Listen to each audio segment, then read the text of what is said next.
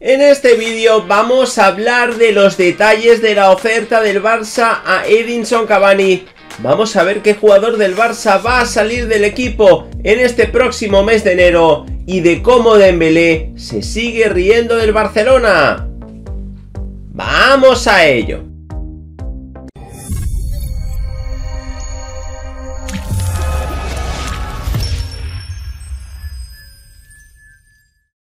Hola de nuevo gente, ¿cómo estáis? Bienvenidos a un nuevo vídeo de Objetivo Gol. Vamos con la última hora del Barcelona y vamos a hacerlo con varias noticias.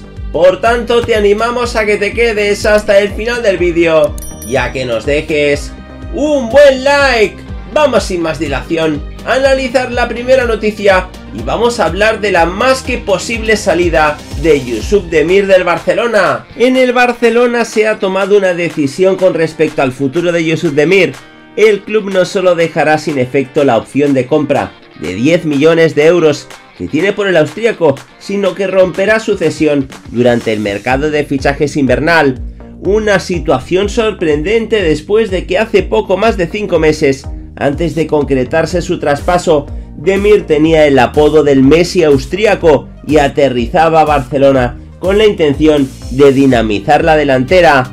El sueño ha durado muy poco y el futbolista de 18 años está obligado a buscar un nuevo equipo.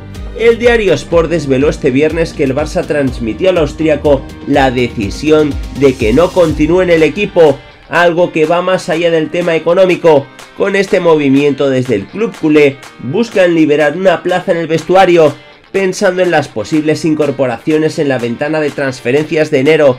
Xavi Hernández explicaba en rueda de prensa que las salidas son obligatorias. Cuando hablamos de reforzar el equipo, probablemente también habrá salidas, así lo dijo, por lo que explica la razón por la que el club prescindirá de los servicios de Demir.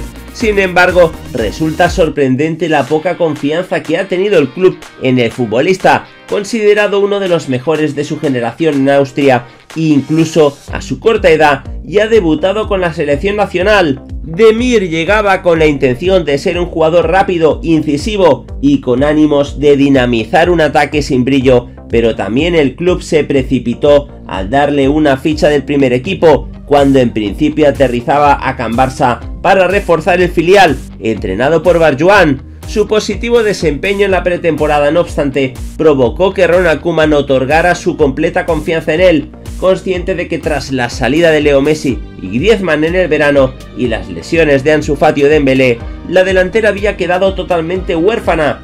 Demir en ese momento se presentaba como una luz en medio de la incertidumbre al mismo tiempo que Alex Collado se quedaba sin ficha en el Barça, las decisiones que seguramente el barcelonismo no entiende demasiado, a pesar de que se presentaba como un jugador muy polivalente, que lo es, y capaz de jugar tanto de extremo por las dos bandas como de media punta, en el Barcelona apenas ha tenido oportunidades en el primer tramo de la temporada. En total ha disputado 9 partidos oficiales, la mayoría como suplente, suma 290 minutos sin goles o asistencias y se prevé que se marchará sin jugar un minuto más. Antes, varios medios reseñaban que desde la ciudad condal se planteaban dejarle en la grada hasta marzo para no verse obligados a efectuar la opción de compra. Así pues, Demir abandonará el Camp Nou por la puerta de atrás, al igual que lo hizo Griezmann e incluso el propio Messi, el Barça vuelve a quedar en evidencia con su mala planificación deportiva y queda algo muy claro, nadie tiene un puesto asegurado en el equipo y si no brillas de inmediato no tienes más remedio que hacer tus maletas porque eso de esperar no es viable en el Camp Nou. Por tanto, Yusuf Demir que saldrá en enero, así lo aseguran desde el diario Sport. Vamos a hablar ahora de los detalles de la oferta del Barcelona a Edinson Cavani. A pocas semanas para el inicio del mercado invernal de fichajes, el Club Barcelona tiene claro qué pieza obtener primero. Desde el club saben bien que la máxima necesidad es reforzar el frente de ataque y ya tienen en el foco el delantero que tiene todos los números para aterrizar en el Camp Nou de cara a la segunda parte de la temporada. Se trata de Edinson Cavani, el arieto uruguayo es el elegido y parece que ya habría dado el ok al club azulgrana. Ya se han desvelado más detalles al respecto de esta operación, cómo sería la operación y cuánto le pagarían por sus servicios. Sería un contrato por una temporada y media, cobrando 3.5 millones de euros hasta junio y 4 millones de euros a partir de ese momento. Eso sí, habría un añadido en variables que sería por rendimiento. Estos detalles han sido revelados por el periodista Gerard Romero a través de su cuenta de Twitter.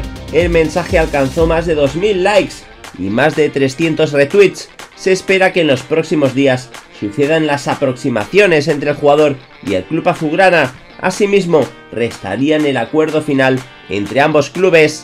Cavani finaliza su contrato con el Manchester United el próximo 30 de junio de 2022, por lo que este mes de enero el uruguayo será libre de escuchar ofertas y el Barcelona se ha mantenido al acecho. Sin embargo, en caso de salir este mercado invernal, los culés y los ingleses deberán llegar a un acuerdo económico para liberar su ficha. Probablemente no sucedan mayores inconvenientes para dejarle salir, pues el ariete ha perdido protagonismo de manera significativa en el equipo de los Red Devils a partir de la llegada de Cristiano Ronaldo.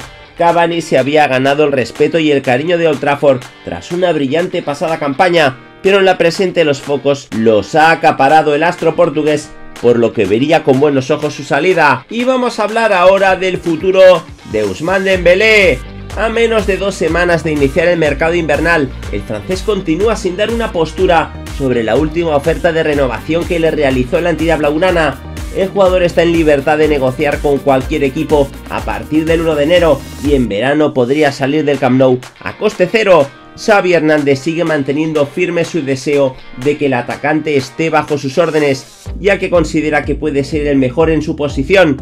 Laporta, presidente del club, también se muestra optimista con la permanencia del delantero y sabe que quiere quedarse. Sin embargo, ambas confirmaciones parecen solo un gesto de empatía con un futbolista que en cuatro años y medio como azulgrana solamente ha anotado 29 goles. Por más desequilibrante que pueda parecer el mosquito, la realidad es que sus condiciones físicas no son las óptimas para estar en la élite del fútbol.